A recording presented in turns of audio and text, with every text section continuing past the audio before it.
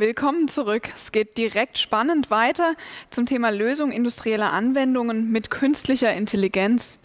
Heute ähm, sprechen wir oder jetzt sprechen wir über Einsatzbereiche der künstlichen Intelligenz und über die Erfolgsgeschichte bei Velux. Dazu darf ich ganz herzlich begrüßen Christoph Eichhorn, unseren Strategic Product Manager von SICK und Lasse Helleby von Velux in Dänemark. Herzlich willkommen auch von meiner Seite. Ähm, ich freue mich, in dieser Session ähm, über künstliche Intelligenz und insbesondere auch über Deep Learning sprechen zu dürfen, welches im Moment das wichtigste Feld innerhalb der künstlichen Intelligenz ist. Und wie Sie vielleicht anhand der Agenda auch schon festgestellt haben, ähm, hängt diese Session ein bisschen mit der Folgesession über AppSpace zusammen. nicht nur inhaltlich haben wir ein paar Verknüpfungen, sondern auch unseren Gast, Lasse Hedeby von, von Velux, haben wir in beiden Sessions da und er wird beide Sessions mit praktischen, interessanten Anwendungsfällen aus seinem Unternehmen in Dänemark bereichern. Ähm, bevor wir in die Session einsteigen, ähm, möchten wir gerne noch ein kurzes Teaser-Video zeigen.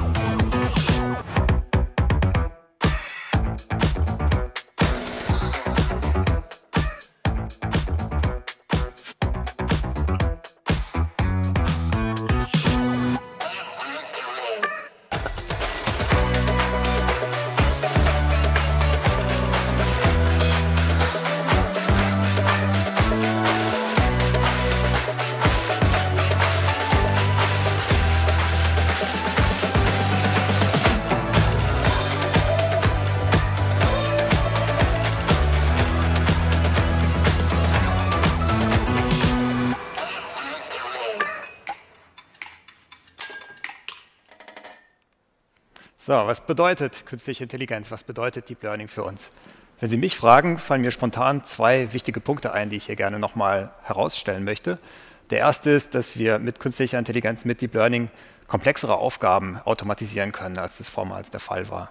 Und der zweite Punkt ist, dass sich auch die Handhabung, die Lösungsentwicklung stark vereinfacht dadurch. Und der Grund dafür ist, dass wir statt wie bisher ähm, Aufgaben oder Lösungen mit ähm, sehr scharfen, sehr präzisen Regeln lösen, gehen wir mit künstlicher Intelligenz dazu über, diese anhand von Beispielen zu lösen. Also das heißt, wir trainieren unseren Sensor mit Beispielen, ähnlich wie wir einen Menschen in eine Aufgabe einarbeiten würden. Und das dann, bedeutet dann im Grunde, dass komplexere Aufgaben mit weniger Aufwand und auch durch vielleicht auch nicht immer perfekt qualifizierte Menschen gelöst werden können. Und wenn man das wirtschaftlich übersetzt, bedeutet das am Ende des Tages, dass man mit weniger Ressourcenaufwand mehr Gewinn schöpfen kann. Wie sieht es dann praktisch aus? Wir haben es gerade schon erwähnt, wir brauchen Beispiele, um unseren Sensor zu trainieren. Das heißt, äh, wenn wir uns diesen dreiphasigen Prozess anschauen, einer Applikationsentwicklung, dann starten wir im Schritt 1 damit, Beispielbilder in diesem Fall aufzusammeln. Das könnten zum Beispiel an einer Produktionsstätte für Lebensmittel oder organisch gewachsenen Produkten ähm, der Fall sein, wo wir jetzt hier ähm, Beispielbilder sammeln. Wenn wir davon genug haben, also einen repräsentativen Datensatz zusammen haben, dann sortieren wir diese Bilder innerhalb der verschiedenen Gruppen, die wir gerne ähm, erkennen können möchten und laden dann diese Bilder in DStudio hoch. DStudio ist unser Cloud-Service für das Trainieren neuronaler Netze und dort ähm, stellen wir ihnen sehr starke Ressourcen, Rechenauf, ähm, Rechenressourcen zur Verfügung, um diese neuronalen Netze in kurzer Zeit zu trainieren. Und nicht nur trainieren wir die Netze dort, wir evaluieren auch sofort das Ergebnis. Und äh, wenn das Ergebnis zufriedenstellend ist, kann dieses neuronale Netz heruntergeladen und in den Sensor gespielt werden, um dann wieder zurück in der Anlage automatisiert die Entscheidung zu treffen, die bisher nicht automatisierbar waren. Und um Ihnen das ein bisschen weiter zu erläutern, habe ich ein schönes Beispiel mitgebracht, wo es darum gehen wird, ähm, in so einem Bool-Set ähm, die Vollständigkeit zu überprüfen Bool ist ein Spiel, in dem es darum geht, dass verschiedene Spieler oder Teams ähm, etwas schwerere Stahlkugeln rollen oder werfen mit dem Ziel, diese so nah wie möglich an eine äh, kleine Holzkugel heranzubringen. Und ähm, um die Kugeln aus den unterschiedlichen Teams zu unterscheiden, sind diese mit Linien markiert. Sie sehen es hier im Bild, es gibt Kugeln, die mit einer einfachen Linie markiert sind und Kugeln, die eine Doppellinie als Markierung haben. Und diejenigen, die das Spiel schon mal gespielt haben, die wissen, dass, ähm, dass man manchmal auch zweimal hingucken muss, um zu erkennen, ob das, ja, wie, viele, wie viele Linien auf der gerade gewinnenden Kugel sind. Und das macht es zu einem perfekten Beispiel, um Deep Learning und die Leistungsfähigkeit von neuronalen Netzen zu erklären. Stellen wir uns also vor, dass wir der Hersteller solcher Bool-Sets sind, dass wir, und wir möchten gerne überprüfen, bevor wir die an unsere Kunden ausliefern, ob, ob die vollständig sind, ob die richtigen Kugeln drin sind. Das heißt, wir wollen schauen, ob wir von ähm, den Kugeln mit einer Linie drei Stück drin haben, mit der Doppellinie auch drei Stück. Es darf natürlich keine Kugel fehlen. Und ähm, darüber hinaus möchten wir gerne auch sicherstellen, dass sich das Set optisch schön darstellt, wenn der Kunde es öffnet. Das heißt, wir möchten gerne dafür sorgen, dass oder sicherstellen, dass die Linien gleichen Typs in einer Reihe aufgelistet, also aufgereiht sind. Und um das jetzt umzusetzen, starten wir ähm, mit einem, einer programmierbaren Kamera von uns.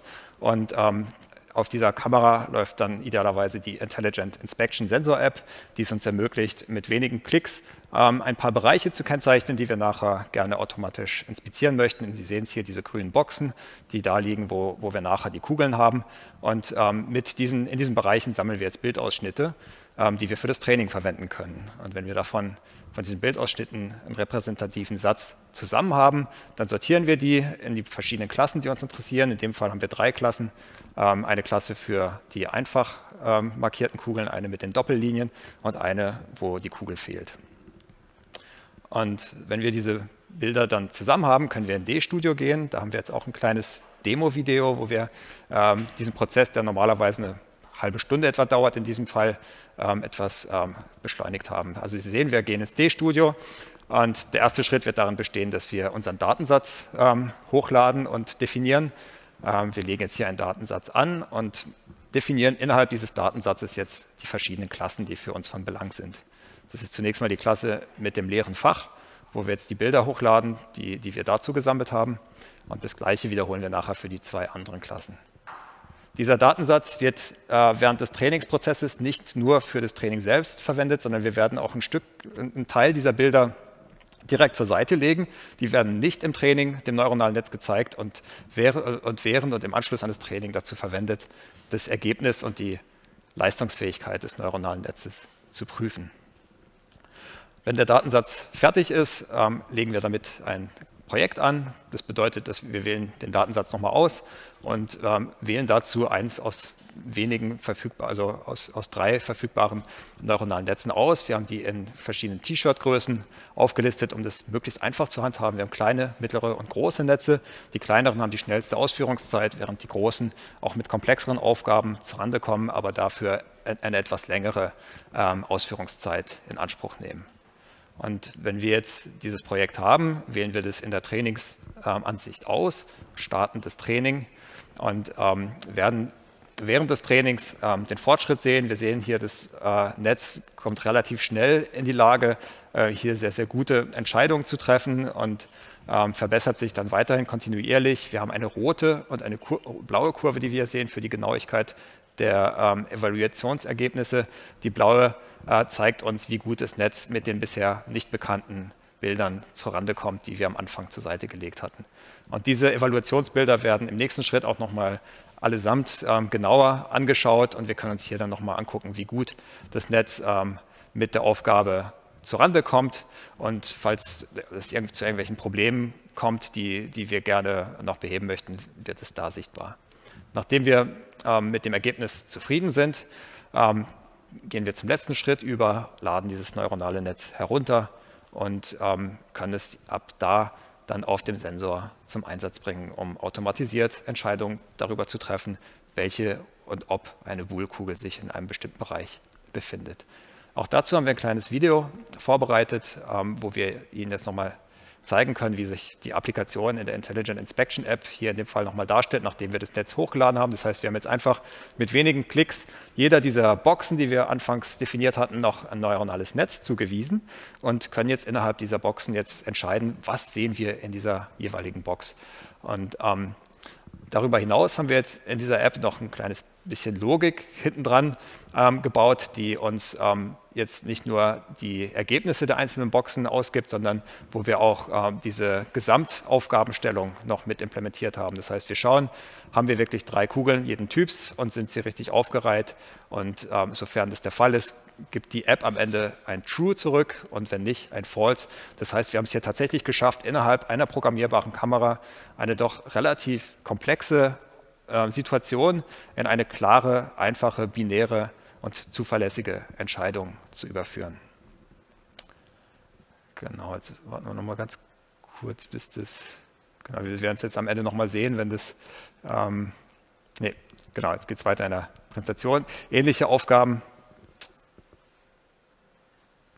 ähnliche Aufgaben gibt es viele. Wir haben jetzt hier auch beispielsweise bei uns in der Produktion ähm, solche Aufgaben, die sehr ähnlich sind, wo es zum Beispiel darum geht, eine ähm, Montageüberprüfung durchzuführen. In dem Fall haben wir hier Laserscanner, wo in den Sockel eine, ein kleines Gewinde reingebaut werden muss, damit es nachher montiert werden kann. Die Ausgangs Lage ist relativ schwierig, weil das Material glänzt, weil die Oberfläche unterschiedlich beschaffen sein kann, je nach Herstelldatum und so weiter.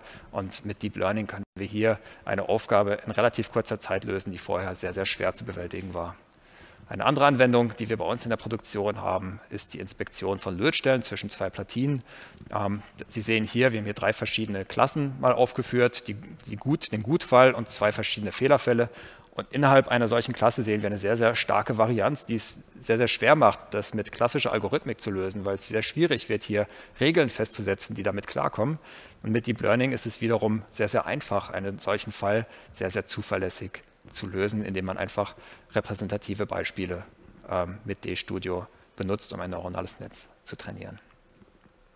Und noch ein drittes Beispiel hier, wo wir in, auch in unserer Produktion überprüfen, ob eine Abschirmung richtig aufgebracht wurde oder nicht. Ähm, sie sehen hier, die Abschirmung ist da, wir bekommen ein OK zurück und wenn sie entfernt wird, gibt es sofort ein Nicht-OK. Und was wir hier noch sehen, ist, dass wir das auch mit einer Object Location kombiniert haben, um ähm, ja, klassische Machine Vision mit wenigen Klicks mit, ähm, mit Deep Learning zu verbinden. Und ähm, ähm das Schöne hier ist nicht unbedingt die Komplexität der Aufgabe, sondern dass in dem Fall auch Ingenieure in der Lage waren, die mit Bildverarbeitung wenig zu tun hatten bisher, das selbstständig zu lösen. Es gibt also viele Beispiele, wo Deep Learning ähm, sehr viel ähm, Gewinn bringen kann. Wir haben jetzt hier welche gesehen aus dem Bereich Montage und Elektronikindustrie, aber auch da, wo es um organisch gewachsene Produkte geht, kann Deep Learning Aufgaben lösen, die bisher schwierig waren. Ein Beispiel wäre in der Holzindustrie die Erkennung der Orientierung von Jahresringen, bevor man einen Balken zusammensetzt oder das vierte hier Lebensmittel und Verbrauchsgüter, ähm, sehen wir auch viele ähm, Möglichkeiten, Deep Learning einzubringen. Sie haben jetzt gesehen, ähm, das Trainieren neuronaler Netze ist sehr, sehr einfach. Man wird aber darüber hinaus auch noch am Sensor in der Applikation auch noch weitere Anpassungen vornehmen müssen, damit es dann wirklich perfekt zu Ihrem Anwendungsgebiet passt. Eine sehr einfache Möglichkeit hierzu bietet die Intelligent Inspection Sensor App, die Sie schon gesehen haben, die auf unseren programmierbaren Kameras läuft, wo man keine Programmierkenntnisse für braucht. Manchmal will man aber noch ein Stück weiter gehen, eine sehr individuelle Sensor-App schreiben und da bietet das SIG AppSpace Ökosystem sehr viele Möglichkeiten, das zu tun. Und da werden wir jetzt in der Folgesession ähm, noch mehr zu hören. Timo Mende wird es sehr gut in der nächsten Session erklären. Ich empfehle, noch dabei zu bleiben hier. Und ähm, an der Stelle bin ich sehr froh, ähm, die Bühne übergeben zu können an Lasse Heatherby von Velux der mit D-Studio und ähm, unseren äh, Kameras und Sensoren ähm, bereits ähm, Applikationen erfolgreich umgesetzt hat. Er wird uns eine Applikation zeigen, wo es darum geht, in, ähm, in ähm, Jalousienelementen, die mit Schaumstoff gefüllt werden, zu prüfen, ob diese Schaumstofffüllung erfolgreich sich ausgedehnt hat in das ganze Element. Das ist ein etwas komplizierter Prozess, der nicht immer ähm, wo der Schaumstoff nicht immer so tut, wie er soll. Das ist der erste Use Case. Und beim zweiten Use Case wird es darum gehen, zu schauen, ob eine Schraube vorhanden ist oder nicht. Ähm, auch hier die Schwierigkeit, ähm, dass wir metallische Elemente haben, die unterschiedlich reflektieren, unterschiedlich Oberflächenbeschaffenheiten haben. Ähm, und auch das hat da sehr erfolgreich geklappt. Wir werden diesen Teil auf Englisch kurz durchführen. Lasse, I'm very happy to welcome you on the stage. And um, yeah, thank you for joining us today. The stage is yours. Vielen Dank, uh, Christoph. Right. And I will switch to English then. Yeah. Uh, that's uh, where my uh, German goes to. Thank you for having me here, and uh, I hope that everybody gets the understanding of uh, what I would try to show. I got the understanding that you just uh, explained the use cases uh, a little bit, Christoph. I will go through how we have uh, used uh, this uh, deep learning um, from uh, from SIG in Velux and how we have solved some applications which we have tried to solve with with uh, normal rule-based uh, vision applications uh, with limited success. So the challenge here uh, is uh, from uh, one of our accessories products for a Velux window is a shutter where you have these shutter profiles that is roll-formed aluminium filled with polyethylene foam. And this process is, uh, of course, a live process where the foam uh, expansion uh, is depend dependent on mixture, temperature, speed, and uh, things like that. So it can be a little bit difficult to control. And in order to reduce waste, uh, we are trying to cut it in and use as many profile with perfect filling as possible a filling uh, from a cut here are shown. The white part is actually the foam filled within the, the profile, and this is uh, a perfect cut.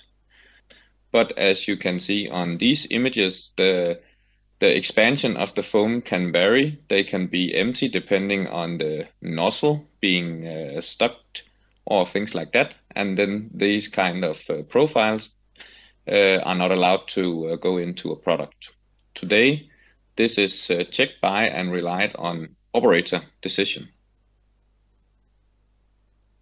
By using DStudio, we used an Inspector P camera from SIG to collect images, store them on an FTP server locally uh, during live production where we wanted to solve the problem. After that, we created the project and uploaded the, the files to the classes and created this data set that Christoph also explained. Uh, and we created a network to be trained to try this uh, this uh, deep learning network. The training went quite well, and after some time, we could evaluate the result uh, based on the training data, and some of the training data are used for evaluation. And this is a perfect line in that case. And at that moment, we downloaded the model, the network, and uh, uh, deployed it on the same camera as we used for uh, image collection, data collection, and tested the solution on the production where the problem was the first network we created uh, had a, a limited uh, success as well. And uh, by using SIG as, as support, we uh, tried to figure out how we could improve this. One of the things is that when deep learning are using uh, the images as data, they are transforming it into a perfect square. So by looking at these images, you can see that because the image we created was elongated, it was long, a lot of the data in the image is actually not related to the problem at all. So the idea was to split the image into three more um, more perfect uh, rectangles and then train three different networks. That also gives the benefit that we can see in the left and in the right part uh, independently uh, which uh, side is not fully filled with foam because that can vary. And we did a new training where we also, during the new training process, removed the background clutter. The the chips and the the, uh, the the the part of the image that is not in focus. And also we collected a, a lot more data uh, because we used the first network to actually pre-sort the images into uh, the labels, and then we manually uh, detail sorted uh, afterwards, which gave us uh, easily a minimum of 300 images per class.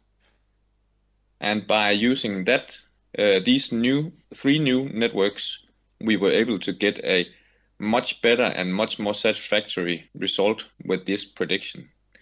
The really uh, nice part about this is that all interference, all logic is handled on the device, on the camera, and even though it's not running on an uh, edge or a cloud service, it still executes within uh, 37 milliseconds, which is uh, quite amazing uh, for this.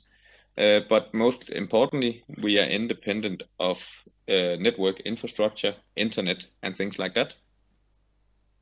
Another case where we tried to use this was in a screw detection case in our assembly, where we screw metal brackets onto wood. This is a crucial process, and by looking at these images, you can see that the glare of the metal part, the metal bracket, and also the screw can vary from batch to batch. We tried to solve this with rule-based vision, but uh, it was not that stable that we could use it. But with deep learning, it was actually quite uh, fast and easy to uh, to solve this. So this is an example where deep learning can actually get you uh, with a solution fast and quickly. Uh, so it don't have to be these big complex tasks. It can also be a fast task. That was what uh, we have uh, tried to use deep learning so far from in Velux enriching this session with these exciting examples. I think they are very comprehensive and they highlight the value that deep learning can bring to us. So we'll switch back to German now. Ähm, ich denke, wir sind jetzt hiermit mit dem ersten Teil so gut wie durch und mhm. kommen jetzt noch zur, zum letzten Teil, die Fragen und Antworten, falls es welche ja, gibt. Ich weiß nicht, im Chat. Mich würde natürlich ähm, direkt mal interessieren, ihr habt so viele spannende Sachen erzählt, aber wenn ich noch gar nichts in diese Richtung habe, wie kann ich denn dann damit anfangen? Genauso würde ich zunächst einmal empfehlen, ähm, für diejenigen, die sich dafür interessieren, ähm, uns zu besuchen auf sig.com/ai. Da haben wir sehr schön alle Informationen für Sie zusammengestellt, ähm, die, die Sie an dieses Thema heranführen hier. Und ähm, ansonsten, ähm, ja, es ist auch wirklich empfehlenswert, auch für, für Leute, die vielleicht mit, mit neuronalen Netzen noch nie was zu tun hatten, ähm, sich damit mal auseinanderzusetzen, weil es wirklich die Arbeit an vielen Stellen vereinfachen kann. Also und wer heute schon einen Inspektor P hat, kann im App-Pool die App, die Intelligent Inspection App, die ich gezeigt habe, herunterladen, sich eine SIG-ID ähm, zulegen, um dann auf D-Studio zu gehen und erste Versuche zu machen. Wir bieten da ähm, die Möglichkeit an, das auszuprobieren. Das klingt wirklich ganz einfach, zumindest um sich mal einzulesen. Wir haben auch eine Frage aus dem Chat und zwar, wäre es auch möglich, mit Deep Learning festzustellen, ob auf einer Palette nur Boxen oder auch eine Person befindet? Ähm, Im Prinzip schon, wenn ähm, bei dieser Klassifikation ähm, braucht man natürlich ähm, Beispielbilder, mit denen man trainiert. Ähm, bei Personen ist ja, bisher fokussieren wir mehr auf Fälle, wo es tatsächlich um industrielle Güter geht, weil wir bei Personen immer auch die, die Frage haben, wie es mit, mit, mit den Bildern dieser Person ausgeht, ähm, aussieht. Das heißt, da äh, würde ich jemanden, der, der in diese Richtung was tut, vielleicht auch nochmal bitten, auf uns zuzukommen, ähm, wegen Datenschutzgründen, ähm, aber technisch gibt es keinen Grund, warum das nicht funktionieren sollte. Ja. Mhm, alles klar, ja, das kann ich gut verstehen. Gerade in Deutschland ist Datenschutz ja doch genau. ein Riesenthema. Der Arzt und ähm, das Sehr gut. ist ein Thema. Genau. Es gibt noch eine weitere Frage und zwar, kostet dieses System eine monatliche Gebühr oder gibt es einen Einmalpreis dafür? Genau, von der ähm, vom Geschäftsmodell her ist es so, ähm, wir bieten zunächst einmal, wie bereits erwähnt, die Möglichkeit an, das zu testen. Erstmal komplett kostenfrei sich mit dem vertraut zu machen, das mal auszuprobieren, auch mal für zwei Stunden in der Anlage ähm, tatsächlich solche Entscheidungen laufen zu lassen. Und ähm, wenn das dann ähm, funktioniert und, und Sie davon überzeugt sind, dass das weiterhilft, äh, benötigen Sie für das Gerät, also für den Inspektor P, eine Lizenz und auch äh, für die neuronalen Netze in D-Studio berechnen wir etwas. Im Moment ist es noch auf, ähm, auf einer Pay-per-Use-Basis und wir werden in naher Zukunft auch noch ein Abo-Modell für, für den Cloud-Service auch zusätzlich anbieten. Okay, danke. Dann kommt vielleicht noch eine letzte Frage hinzu. Ähm, hier schreibt jemand, das ist jetzt Vergleichen fester Parameter. Mhm. Künstliche Intelligenz weiter trainieren bedeutet neue Bilder hochladen und nicht je Bild der Kamera. Richtig? Ähm, ja, an, an, der Stelle ist es so, dass wir, äh, wenn, das, wenn das Training abgeschlossen ist, wir zunächst einmal keine weiteren Bilder berücksichtigen. Also es lernt nicht kontinuierlich weiter. Ähm, man kann natürlich ähm, das, wie, wie Lasse Hedeby aus Schweden das bereits erwähnt hat, ähm, auch auf ein neuronales Netz verwenden, um Bilder zu sortieren ähm, und weiterhin abzuspeichern, um zu überprüfen, ob das richtig funktioniert und dann äh, auf dieser Erfahrung aufbauend ein weiteres Netz trainieren ähm, anhand von mehr Erfahrung, mehr Bildern, um ähm, noch weitere Verbesserungen zu erzielen. Ähm, also das ist durchaus möglich, aber ähm, es ist nicht so, dass die Kamera kontinuierlich mit jedem Bild neu dazu lernt. Ähm, das hätte auch Nachteile, die es mit sich bringen würde, weil, weil wir in dem Moment ähm, eventuell auch abdriften könnten von dem Zustand, den wir bei der Abnahme für gut befunden haben. Okay, alles klar. Danke dir, Christoph, für den spannenden gerne. Input. Und Lasse bleibt noch kurz bei uns. Für die nächste Session wird er ebenso Velux vertreten. Und dann begrüßen wir einen anderen Kollegen von intern, den Timo Mendle und sind in drei Minuten wieder für Sie da.